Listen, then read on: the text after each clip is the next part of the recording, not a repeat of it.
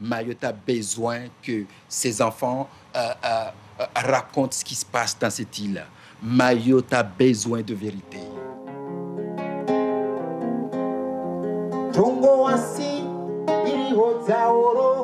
Voilà 24 ans que Mtoro Chamou, guitare en bandoulière, sillonne le monde.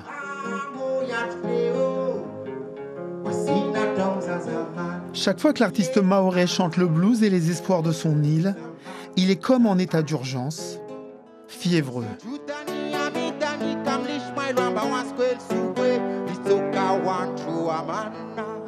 Je dis ce qui se passe chez moi.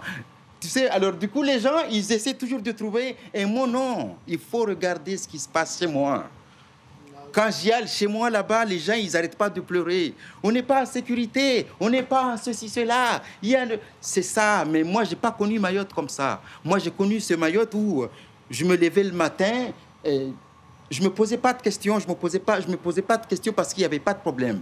Ou bien s'il y en avait, c'est pas des problèmes qui concernaient tout le monde. Au moins, on pouvait vivre un petit peu. Mais là, aujourd'hui, on ne vit pas. Alors, si je parle de tout ça, c'est pas parce que je suis engagé, c'est parce que ça m'agresse. Il a toujours réussi à parler de tout, résumer euh, tout ce qui concerne les îles, les conflits sociaux, le social, le politique. Et quand on va dans un concert on trouve de tout. En fait, on sent que c'est un artiste qui ment pas. Euh, c'est pas. Euh, voilà, c'est sincère. Ça vient du fond du cœur, ça vient du fond de sa terre, ça vient. Euh, c'est profond et ça ne peut qu'émouvoir tout le monde, quoi.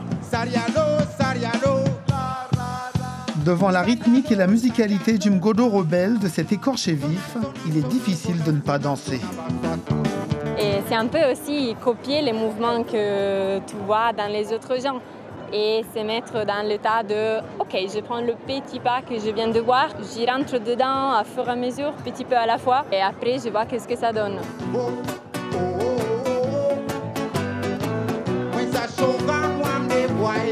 Avec 10 albums au compteur, Ntoro Chamou et son timbre de voix unique continuent de parler au cœur des hommes et de frapper les consciences. Ma musique, elle ne ment pas. Je ne fais que raconter l'histoire de ce qui se passe chez moi et de ce qui m'entoure et mon environnement. Prochaine date pour Mtoro Chamou, le 28 juillet prochain à Lyon, au Jeudi des musiques du monde.